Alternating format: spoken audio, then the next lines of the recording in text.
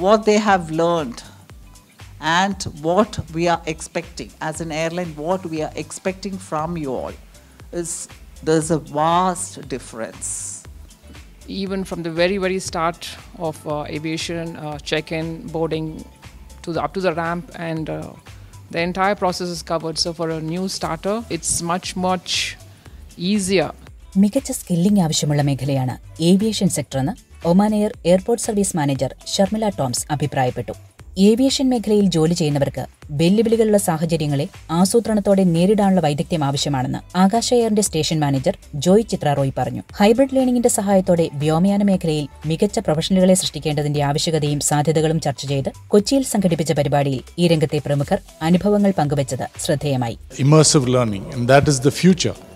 And that way, you learn much faster. You can, you know, reach many more people. The basic skill that should be acquired by the students is crisis management, Kochi കളമശ്ശേരിയിലെ Kerala startup മിഷനിൽ edtech സ്റ്റാർട്ടപ്പായ smart G C pro ആണ് event സംഘടിപ്പിച്ചത്.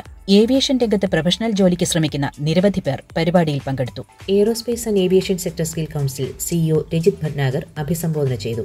We are here to bridge the gap between aviation aspirants and the industry we have created a 3.5 million square feet virtual airport wherein a student can access to each workstations and know more about it. ടെക്നോളജിയുടെ സഹായത്തോടെ airport ground ഓപ്പറേഷനിൽ hybrid ലേണിംഗും ട്രെയിനിങ്ങും നൽകുന്ന സ്റ്റാർട്ടപ്പാണ് smart G C pro aviation രംഗത്തെ പ്രമുഖരുടെ പങ്കാളിത്തത്തോടെ virtual ലേണിംഗും ട്രെയിനിങ്ങും സ്റ്റാർട്ടപ്പ് നൽകി വരുന്നുണ്ട് ഏവിയേഷൻ രംഗത്തെ പരമ്പരാഗത രീതികളും മാറിവരുന്ന സാങ്കേതിക വിദ്യകളും എന്ന വിഷയത്തിൽ smart G S C pro സംഘടിപ്പിച്ച പരിപാടിയിൽ danger goods expert Girish Bhaskar soft skill trainer Thomas George consultant psychologist Sarath Kumar M S വ്യോമയാന മേഖലയിൽ അധ്യാപികയായ ശ്രീലേഖ എന്നിവരും സംസാരിച്ചു The emerging system is introducing virtual airport and a virtual aircraft. The students can go inside the aircraft, they can go all areas of the airport and they can learn from the it is like a real experience. more than quantity, we must make quality students.